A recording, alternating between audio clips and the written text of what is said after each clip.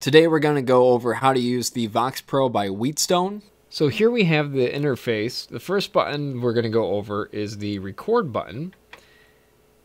And as you can see from our levels, you get my voice talking. Hi, hello. This is Corey on 89.1 WPHS, the Exile radio. So we've got that recording going on right there.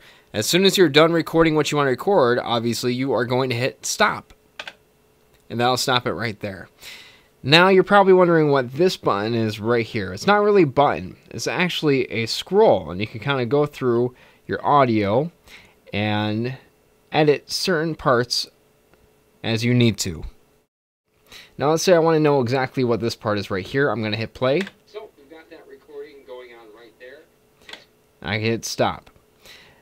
Now let's go ahead and go all the way back to the beginning of our uh, track. So I'm going to hit this button right up here. And it takes us all the way back to the beginning.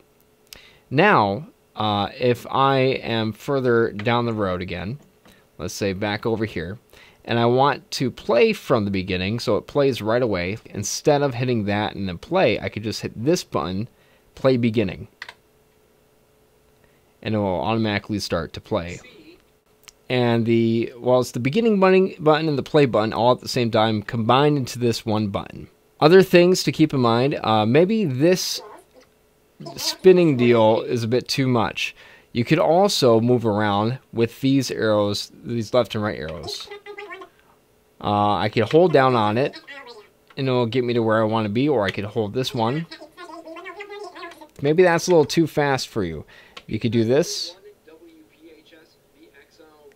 And that will play at normal speed. It'll also help you be able to hear where you're at in the edit as you're learning how to read and pick up on the waveforms. And the bottom one, the small arrow, is, as you can imagine,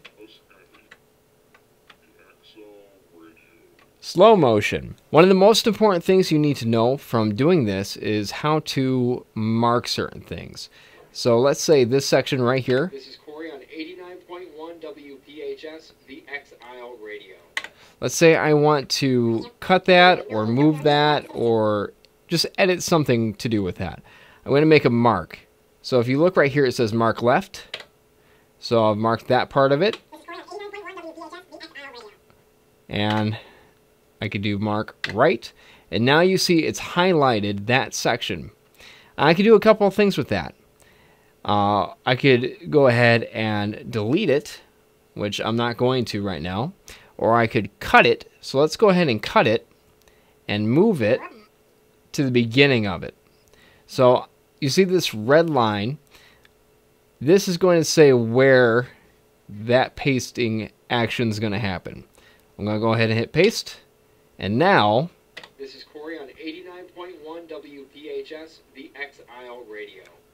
Now, if I just want to play the section, similarly to playing from the beginning, I just hit play selection. This is Corey on 89.1 WPHS, the X Isle radio. And it will just play that selection for us. Now, let's say we want to record or edit something that's already been recorded. We don't necessarily want to record something new. And I could either import something or I could drag something in. So I'm going to go ahead and drag something in down here and it pops up right there.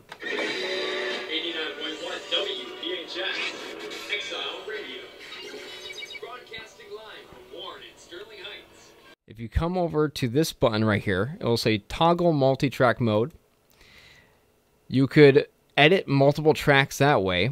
And then if you hit this fire button, it will come up with hotkeys. Now, what are hotkeys? Hotkeys are uh, different buttons. So let's say we record a caller and then we want to go right into a legal ID, kind of what we just played. I could do something similar as what I did before, and I could drag that legal ID into one of my hotkeys. And there are lots of hotkeys to choose from. So now, what I could do is I could play this whole thing, and then with one button, play that legal ID.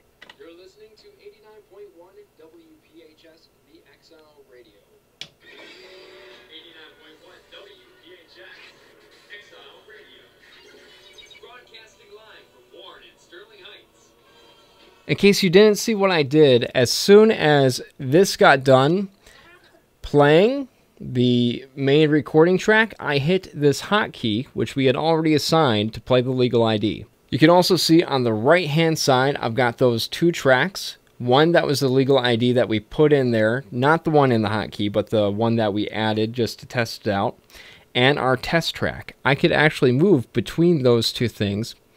Uh, with this bottom arrow, I can move between those two things.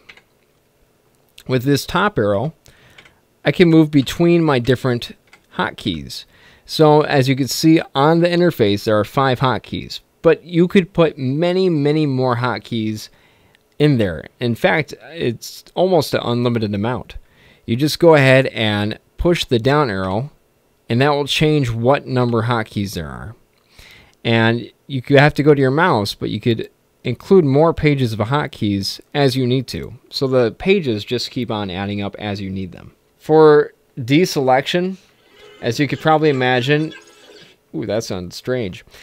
If you mark a selection and you decide you don't want to select that anymore, you hit deselection and it will obviously deselect. Another really useful tool to use if you're editing and you want to mark something and you want to be just precise. So I'm going to hit zoom and I'm going to go in and I could see things a little bit more up close and so I could have a more precise mark. You could go zoom twice and then get even more into it. Now, if you get this far and everything looks different and now it's hard to edit on, don't worry. It only zooms in twice. When you hit zoom the third time, it goes right back to normal. And at the beginner level, that is how you use the VoxPro. There's a couple other buttons on here that uh, we didn't really go over, like OK or Control and Shift. That stuff you will learn as you get more involved with the VoxPro, but this tutorial was just how to get started with the basics. And now here's the incredibly complicated way to record phone calls. This should not be how it is. You should just be able to pick up the phone and have the VoxPro already start recording, but uh, unfortunately, we are not that lucky at this very moment. So hopefully that changes, but for now, this is uh, this is how it is.